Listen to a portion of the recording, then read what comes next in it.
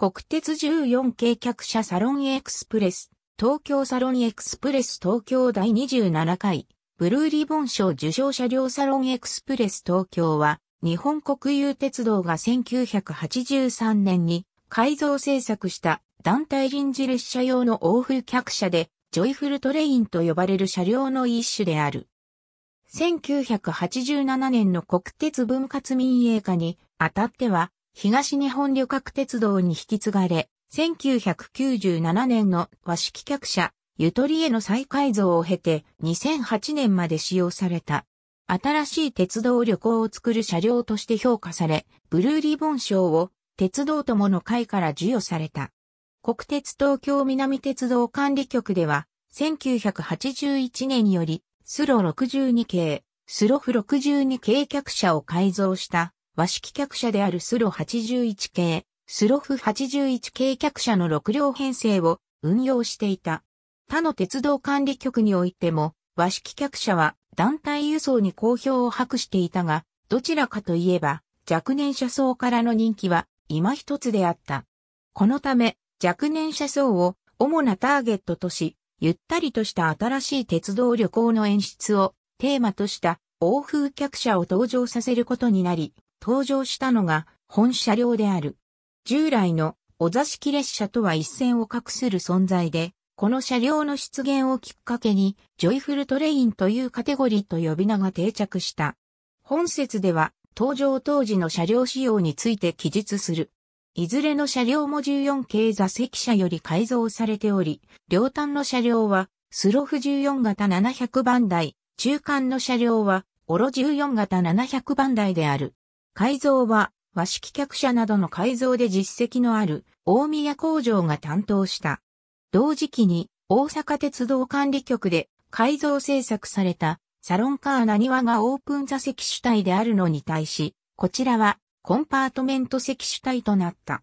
展望室の設置にあたっては、車両の向きを反転させることにより、展望室内に発電用エンジンの排気管が露出するのを避けた。同時期に大阪鉄道管理局で改造されたサロンカーな庭においても同様の措置が取られており、以後、展望室を設ける際には、この方法が主流になったが、同時に配電盤の移設が必須となり、改造作業の難易度が高くなってしまった。全車両がグリーン車扱いである。デザイン、編集上品な色で、それまで車体外部色としては使用されていない色を使用すべく検討の結果、ベースカラーには赤7号が採用された。窓上には木6号、装下には朱色3号の細体を配したパノラマコンパートメント車、編集1号車が該当する。スハーフ14型の乗務員室側連結面を編成内側に向け、便所、洗面所を撤去した上で、車端部を展望室とした。展望室はフリースペースのサロンとしても用いられるため、回転椅子を7脚設置した。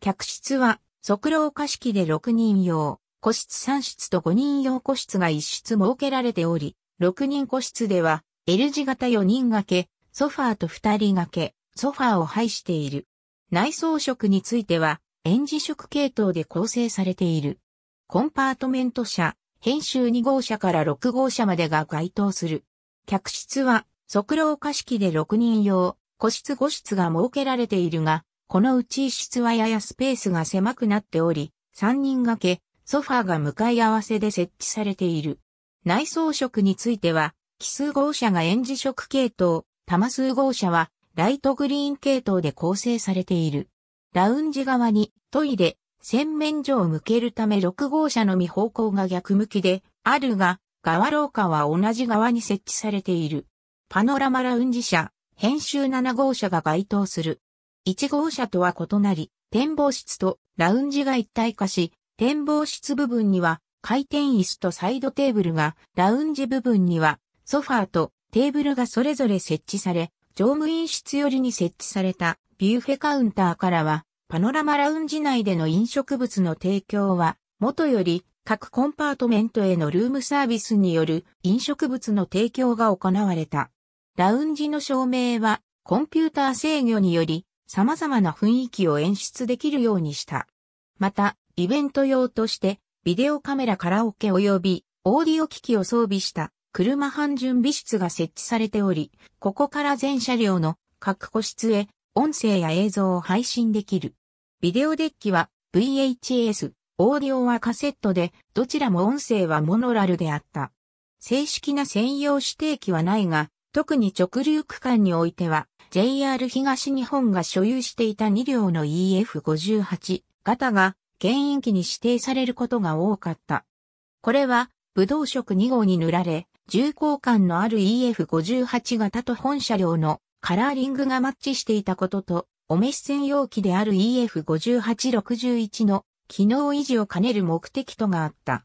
1983年8月17日に一般公開され、同年8月20日より運転を開始した。当初は一部車両の改造スケジュールの都合により、2両欠車となった5両編成での運行となったが、同年10月には全車両の改造が終了し、7両編成で運行されるようになった。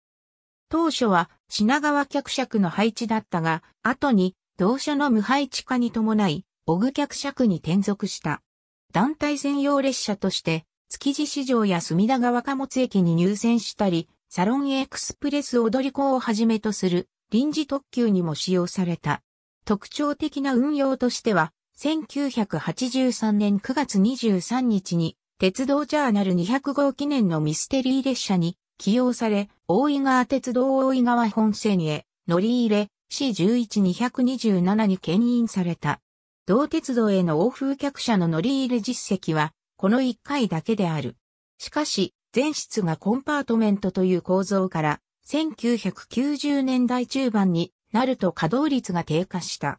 このため、1997年1月4日限りで、欧風客車としての運用を終了することになった。ゆとり欧風客車としての運用を終了した後、大宮工場において和式客車へ改造された。これは中高年代層の団体輸送の需要が高い和式客車への改造を行うことで、旅客サービスの向上により、増収策の強化を図ったものである。和式客車では6両編成が適正な輸送規模と判断されたことから、オロ14700には編成から外されて、新潟支社に転出し、同支社の12系お座敷列車編成にロビーカーとして組み込まれた。車内は個室パーティションソファーラウンジも含めてすべて撤去され、全車両が掘りこたつ仕様となった。その他、内装化粧板の更新や荷物置き場の設置などが行われた。なお、両端の展望室については、回転式ソファー7脚を設置したほか、中間の各車両にも談話室が設けられ、サロンエクスプレス東京でも使用されていた3人掛けのソファーが設置された。この改造に伴う改版は行われていない。また、外部塗色も従来通りであるが、編成愛称は、ゆとりと改められた。編成の内容は次の通り。老朽化に加え、客車列車のため機関車の付け替えなどに手間がかかる上、速度面でダイヤ設定が難しくなったことなどから、2008年3月9日限りで運用を終了した。本編成の運用離脱により、これ以降、JR 東日本の客車のジョイフルトレインは SL 磐越物語で使用される12系客車のみとなった。両端の特徴的な展望車、スロフ14701.702の2両は、しばらく解体されず、尾久車両センター内に保留車として留置されていたが、2015年7月7日、長野総合車両センターに廃車改装された。国鉄観葉色名称、薄卵色、マンセル記号 5IQ4.7。鉄道ジャーナル第31巻第3号、鉄道ジャーナル社、1997年3月、101ページ。ありがとうございます。